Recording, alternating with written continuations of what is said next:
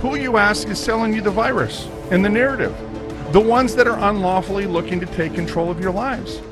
The same foxes that are guarding the chicken coop